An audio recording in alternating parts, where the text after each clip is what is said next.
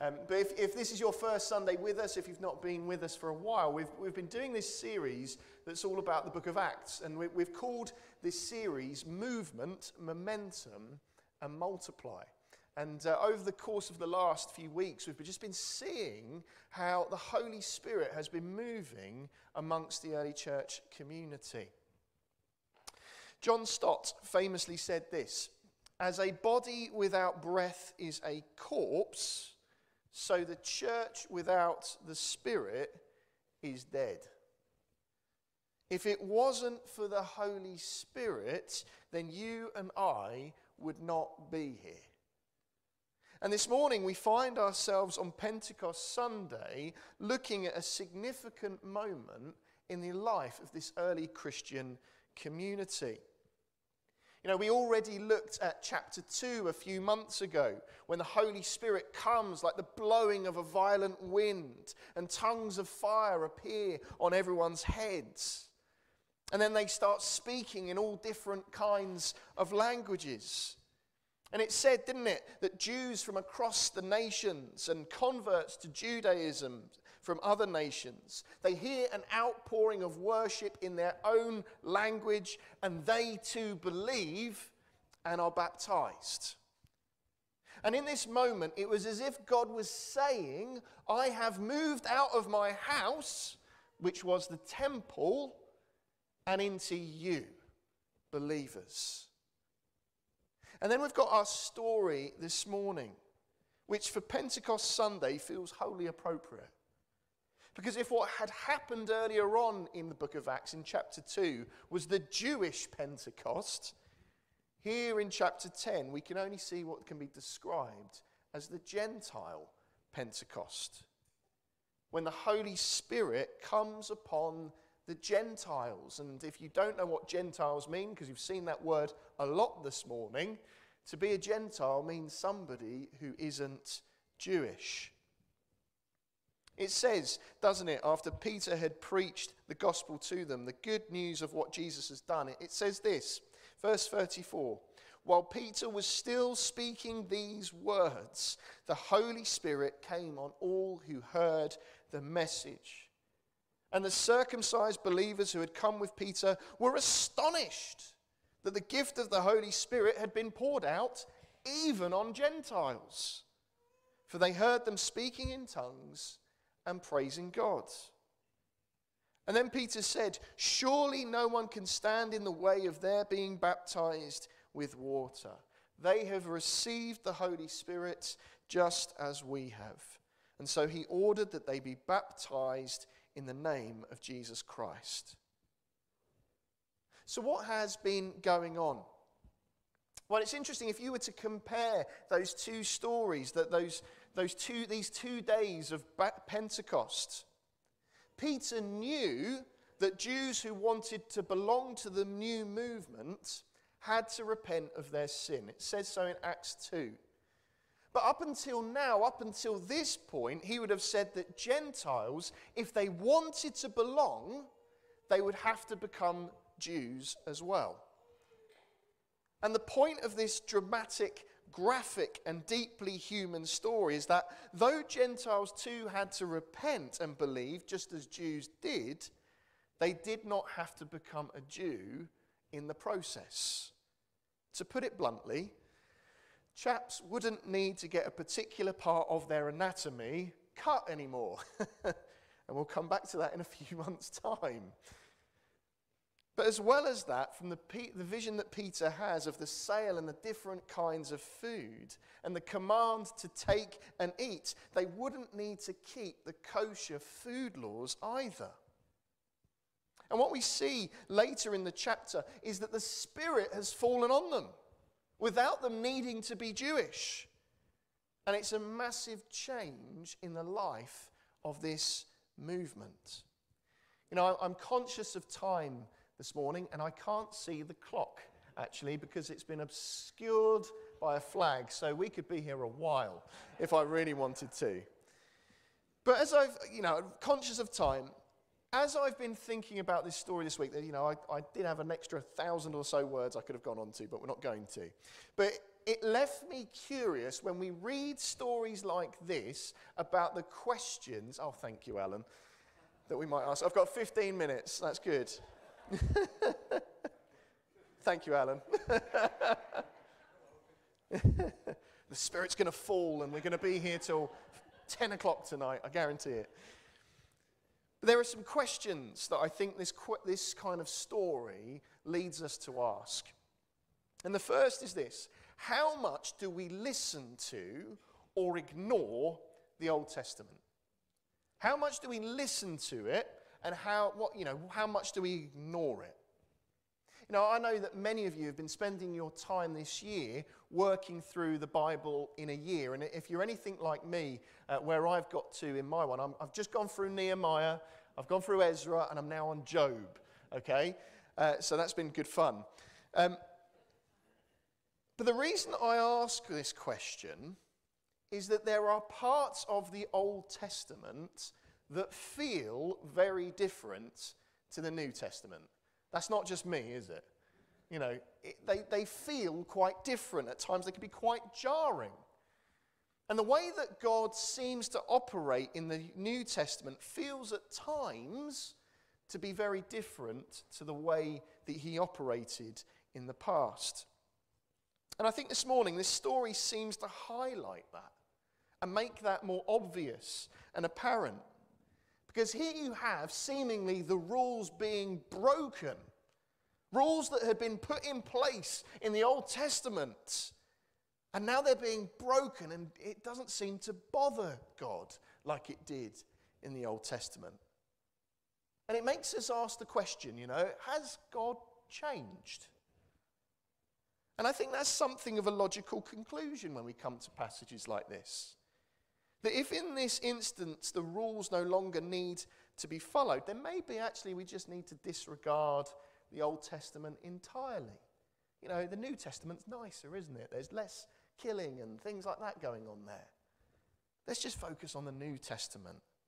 Surely that's easier. But you're waiting for it. I think when we do that, we are not reading the text faithfully and properly. The Old Testament, and particularly the food laws and things like that, they were in there in a place for a time and a purpose. You know, I think the best way to get our heads around all of this is to realize that throughout the Bible, God is the same. No, he is the same yesterday, today, and forever. He is slow to anger. He is rich in mercy. He is abounding in love. God is the same. But in order to fully appreciate what is happening here, we have to realize that God's plan has developed. God is the same, but his plan has developed. His plan for his people, his cherished creation, has proceeded beyond a point where they need to have food laws and other rules in place to keep them holy. What we see happening in this chapter this morning was always God's intention. By choosing and blessing one family like he does in the Old Testament, he intended to bless all the families of the earth psalmists and prophets, they foretold the day when God's Messiah would inherit the nations. The Lord's servant would be their light. All nations would flow to the Lord's house. And God would pour out his Spirit on all people. Like anything, when there are some rules in place, though, the tragedy was that Israel had twisted this belief about election into one of favoritism. Rather than being a light to other nations, they had become deeply filled with racial hatred. They despised Gentiles as dogs, and they developed traditions that kept them apart. You know, people always go on, on about the time that Jesus gets really angry, don't they? The one time we see Jesus angry in the temple. Now, Jesus' gripe with the money changer and money changers in the temple, it wasn't one of economics. It was because the money changers had set up shop in the Gentile part of the temple. It was a system that was put in place that was keeping the Gentiles apart. And on top of that, no Orthodox Jew would ever enter the home of a Gentile, even someone who was sympathetic to Judaism, or they would never invite anyone like that into their own home. You know, the taboos of food and family had been set up by God to do a proper and important job of keeping Israel for himself, separate from the rest of the world. But it was always his plan that through Israel, the rest of the world would be saved. And now in Jesus and by the Spirit, God had carried out that plan. Jesus had become the place and the means by which God was now meeting people with mercy and grace. And so, my friends, it's so tempting to say, let's just ignore the Old Testament. But the whole sweep of the Bible is important. It's a story of redemption, of how God gets his children back. And that's his plan, that's his intention for all people, not just the Jews. You know, we listen to the Old Testament because every story whispers the name of Jesus. I've gone over already five minutes. That's got, I've got ten. So that's the first question. The second question that this kind of story makes me ask how do we discern God's voice? I think that the second trap that we fall into is as long as you think God has said something to you, then you can disregard everything else. So, here in this moment, Peter is given a vision, and on the basis of that vision, it will have repercussions for the whole church moving forwards. So, how do we discern that something is God's voice and you're not just talking to yourself? Because regularly, and you don't need me to tell you this, throughout Christian history over the last 2,000 years, there have been moments where people have apparently had a fresh revelation and then decided to take church in a completely different direction. Seemingly having fresh revelation that disregards everything that goes before. And this is dangerous territory. So the question is important how do we discern God's voice? I think that one of the things we notice is that Peter is consistent in measuring it against Scripture. If you look at verse 43, all the prophets testify about him that everyone who believes in him receives forgiveness of sins through his name. He sees the plan in Scripture. He goes back to Scripture to tell whether or not it is God's voice. Although what is going on is, you know, it's apparent that this is a new way, it isn't completely disregarding what has been said in the old. You know, that passage in Joel speaks of it, doesn't it? Of the day of the Lord where I will pour out my spirit on all people. And it's why answering that first question was so important first. Because does this sound as though it's according to God's greater plan that we find in Scripture? That is a way of discerning it. Is this part of what seems to be God's plan? Later on, we'll see in chapter 15 how the Council of Jerusalem meets to discuss all of this. If we'd had time this morning, we'd have also gone a bit further into chapter 11, where Peter tells his friends, those who are gathered, about what has happened, and he tests it against them. This is the input of what we'd call the council of saints. That's another way that we discern the voice of God. The council of the saints. Now, we're Baptists. We love a church meeting, don't we? We love it. We love it because we're going to come together and we're going to discern the mind of Christ together. And we do that because we actually believe that the Holy Spirit speaks through each of us. That each of us can contribute And through the counsel of saints, we can discern God's voice.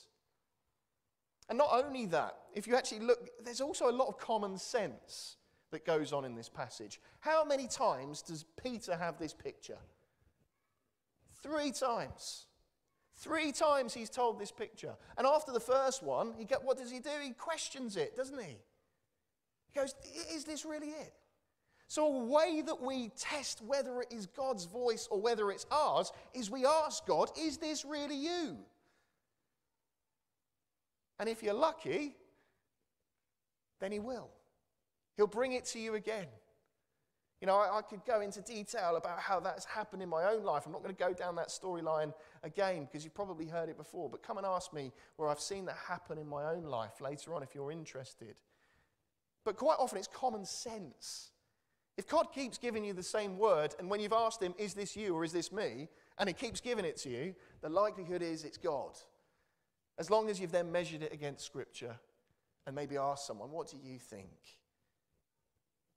I think the third question this passage also then makes us ask Does God accept everyone? Does God accept everyone? I think the third issue when we read this passage is there's a bit of a danger that things become open season. And what I mean by that is it doesn't matter what you're like, it doesn't matter what you've done, you are welcome. Now, I have to say, that's sort of true, isn't it? That is sort of true. But on other levels, it's not. And what I mean by that is there is a difference between acceptance and invitation. The invitation is for everybody.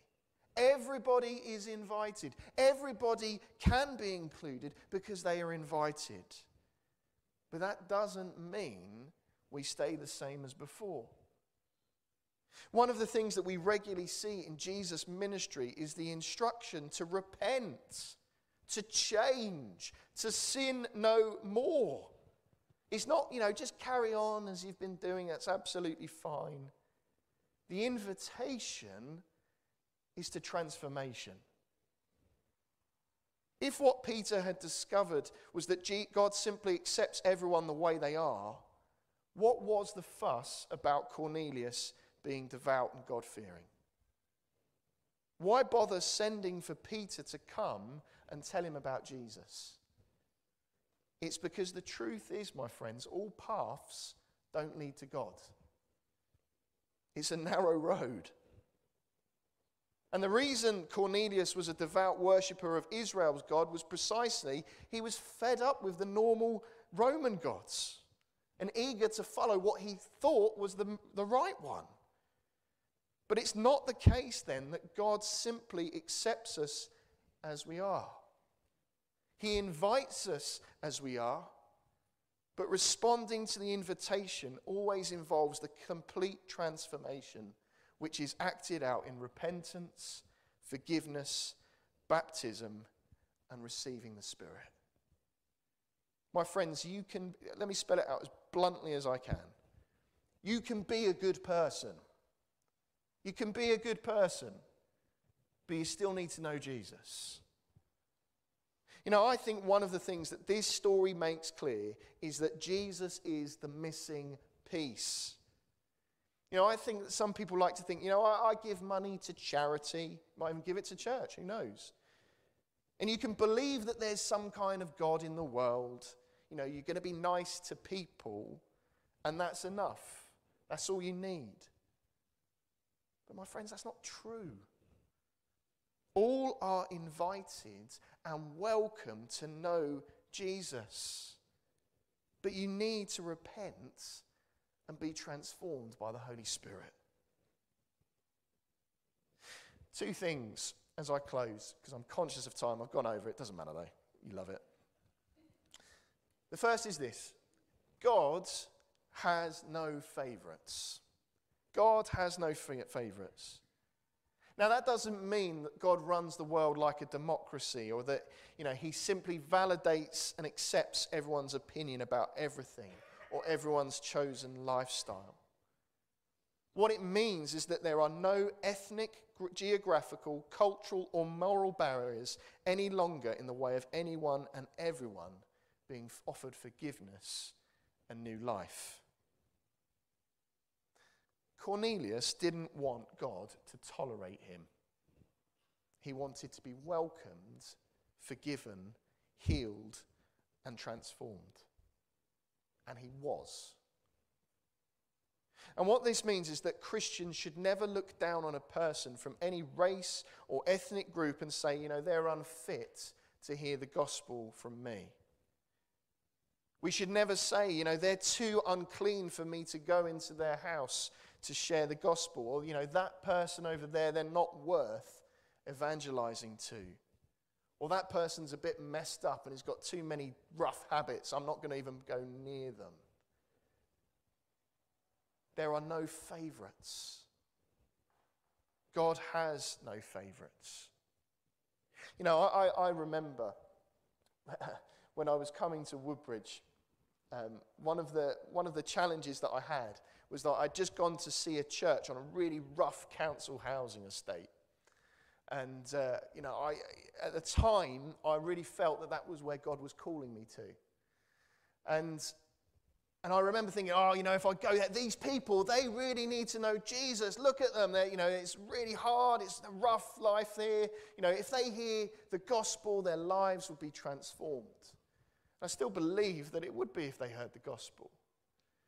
But I remember when I came to Woodbridge and I saw all these well together people with lots of money and loads of stuff and seemingly life all put together. You know what I realized? They need Jesus too. And if anything, it's harder to tell people about Jesus when they think they've got everything. And that's why I'm here.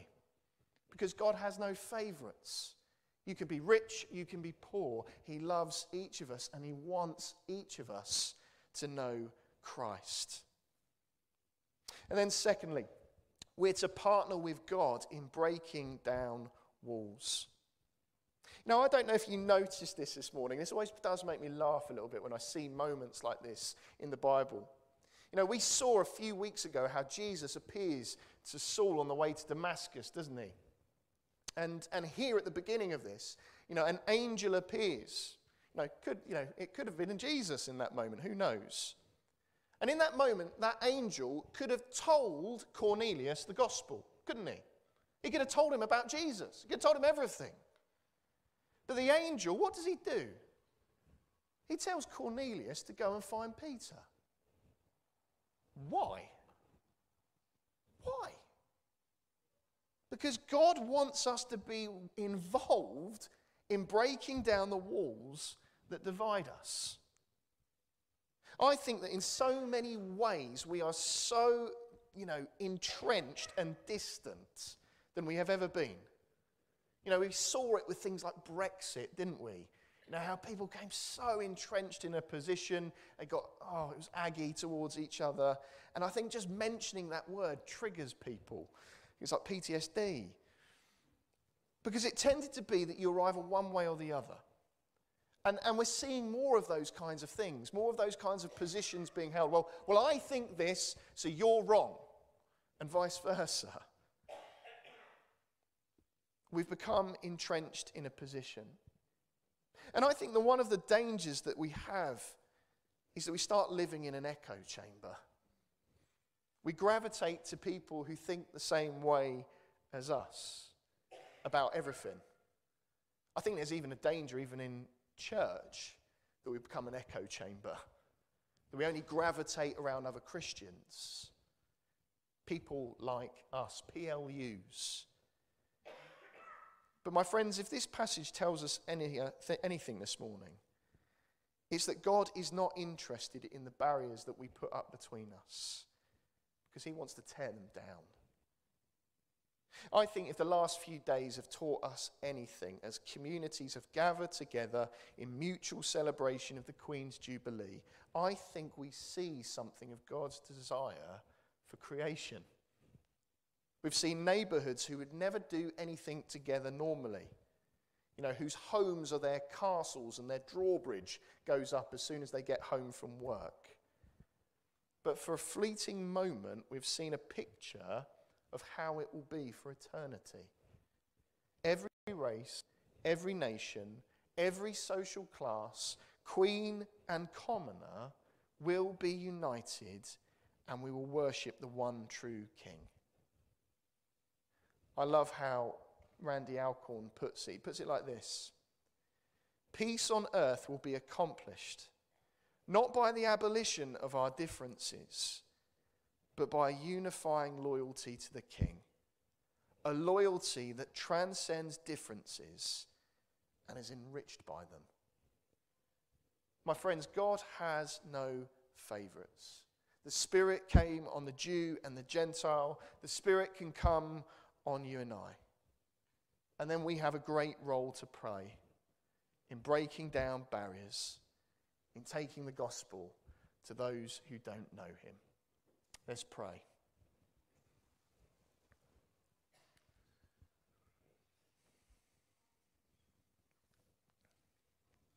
Loving Heavenly Father, we want to thank you for the Holy Spirit. Holy Spirit, we thank you that you live in us. Lord, it's because of you that we have security that we are His.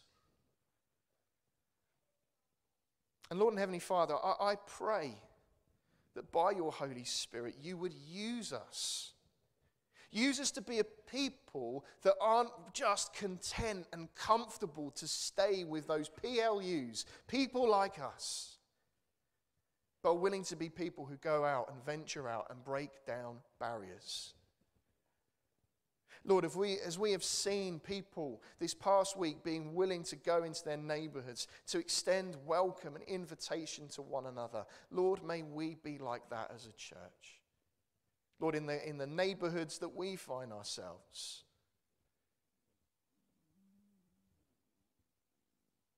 Lord, I, thank you that you have, there is no favorites in your kingdom, there's no favoritism. You just want us to come to you, recognizing that we, we can't do this on our own. We need your love, we need your mercy, we need your forgiveness. And we need to change. Lord, I, I pray that this morning, by your Holy Spirit, we wouldn't be the same people who came in through the door. I, I pray that, Lord. I pray this every week. People don't know I pray this. But I pray that people go out from here challenged to change.